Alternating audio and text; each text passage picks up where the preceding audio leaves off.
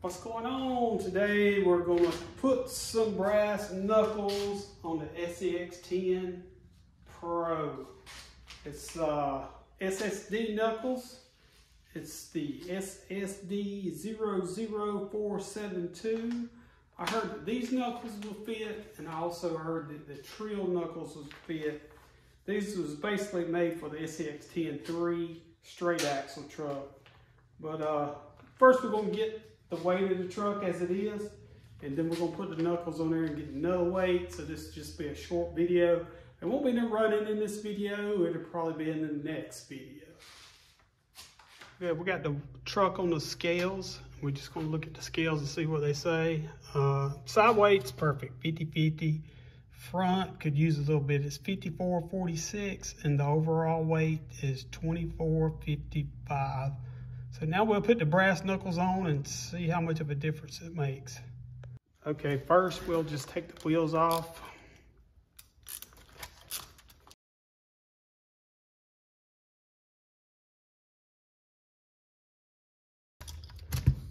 Okay, we got the wheels off. Now we just have to undo these knuckles. Should be pretty simple. Get the main one first.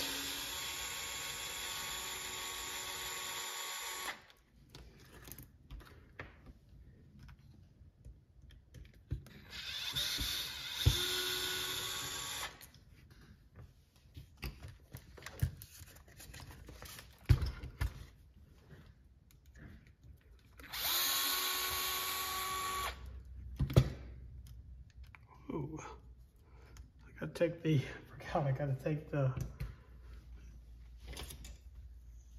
the wheel nuts off. Silly me.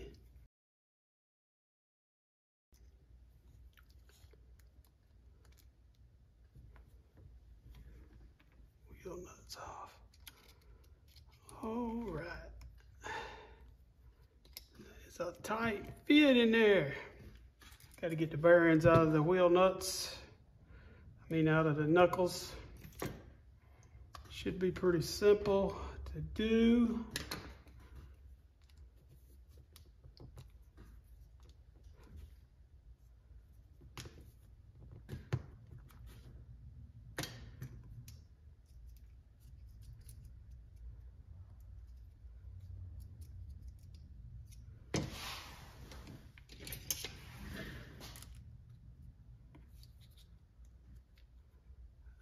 Push push up on it and rotate it. That way you don't scar nothing.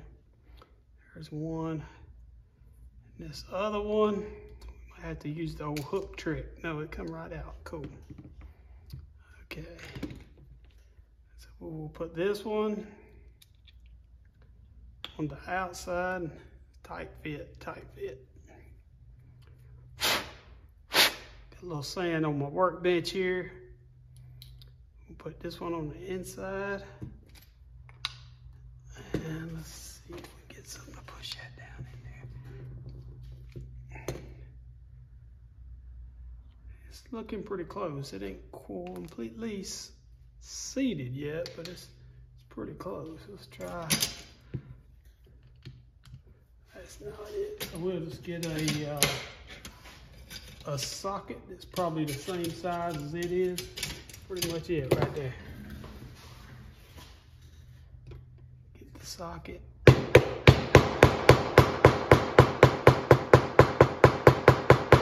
Don't take a whole lot. Check, make sure it's flush all the way around. Yes, flush all the way around. Flush on the front, flush on the front.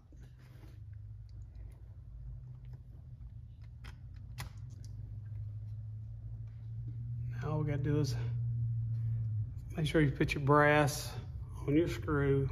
Come with your SSD. Oh, I'm not sure exactly how Treal does theirs. I don't think I've bought any Treal knuckles before.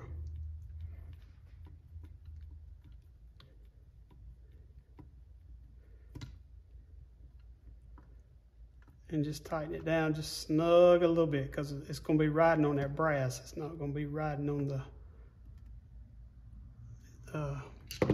bolt like the other ones, shoulder bolts, where they have that little ridge to ride on.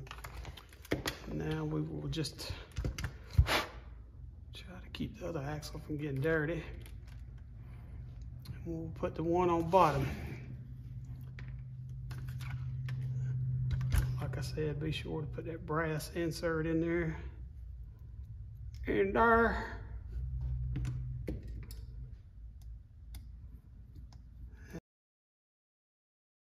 Just snug it up just a little bit. You still want to be able to turn it.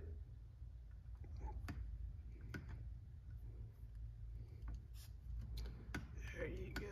All right. Since we already got it upside down, we might as well go ahead and put this one on.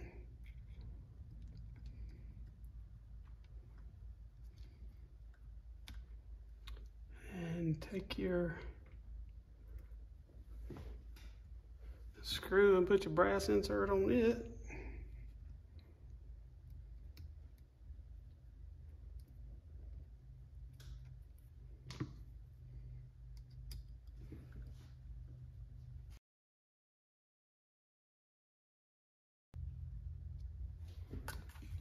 Over. Put your top screw in with the brass insert.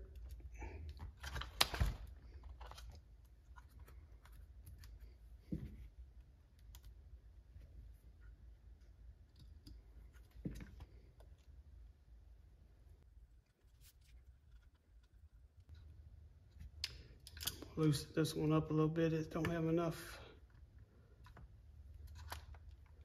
enough play in it. There we go. Make sure they're both moving freely. Don't don't worry about it if it takes a lot to back these bolts out once you get them in. All right, now we just put our cross-link bar in. And this was the same way. It's real hard to, get it in there, get it started, because it's a tight, tight fit. Well, you're right, it's, it's a little tight, so we're gonna grind into the ball down just a little bit. This ball, rod end ball's too thick to fit in between the double shear here. So we're gonna grind it down just a hair. So now we've ground both ball ends down. It should fit in there with no problem.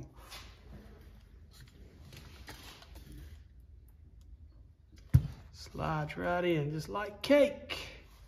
Now with this one, we have to put the servo link on it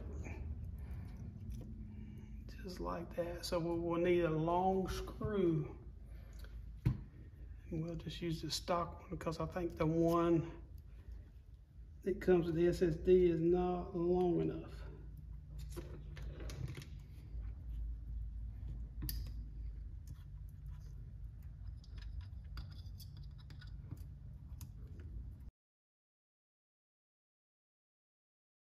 Probably wouldn't hurt to put a little Loctite in this. Already got the screw started in there. I will just drop me a drop in the bottom. We won't tell nobody though. Did I did a little, little cheating there. Anytime you're using metal to metal, you know, you put your little Loctite in there, won't hurt nothing. Just don't use Loctite on plastic unless it's made for it because when you back the screw back out, it will take the plastic with it. Okay, we got that one set in. Now we'll just put the other one in. And it should fit in there with no problem.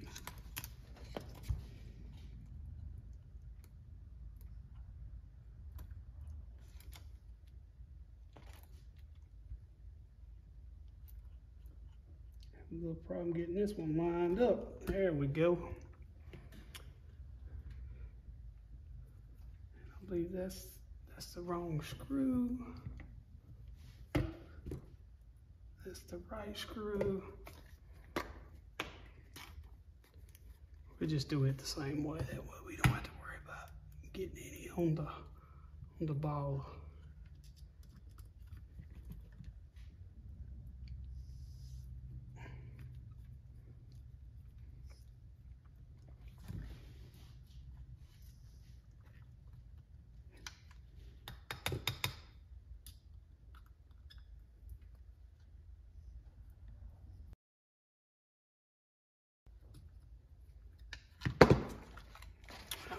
Upside down, put us a drop in there.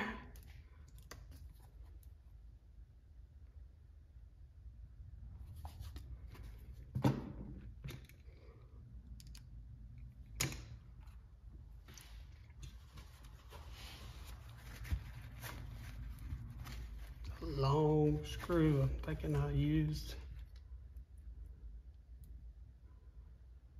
No, I guess it's right.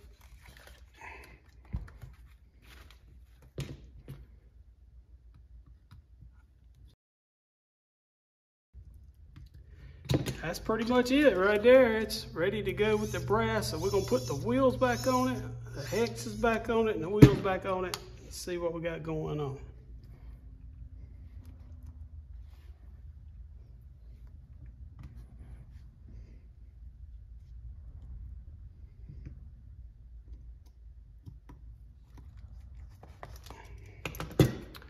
Okay, now we're gonna get it to the scales. Check it out. Let's see if there's any any kind of clearance issues. It's looking like we're getting the full throw out of our steering. Okay, we got the truck on the scales. We got the brass knuckles on it. And I don't think there's a big difference just in weight, mostly 2604 is the total weight. Uh, we got 56% of the weight up front and 44 in the back. So I'll sum it up at the end of this video and we'll figure out what we got. Okay, I recalibrated my scales to make sure this was right. The truck weighed 5.4 pounds before I put the brass knuckles on it. After I put the brass knuckles on it, it weighed 5.7 pounds. It's not a whole lot. Uh, the front to back weight ratio, before I put the brass knuckles on it, it was 54, 46.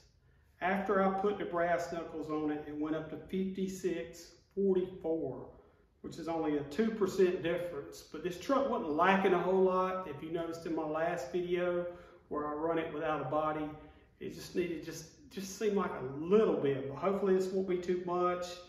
And these numbers, they're kind of deceiving on this because I've seen trucks, well, I've actually got trucks that run at 60, 40, and I'd be, I'd really say they don't perform as good as this truck at 5446. So uh, the next couple videos you'll see is probably me running this truck with the brass knuckles on it. We're gonna try to get a body painted one day this week. So if you're not subscribed, you might wanna subscribe and hit that notification bell. And remember till next time, I love you, but God loves you more.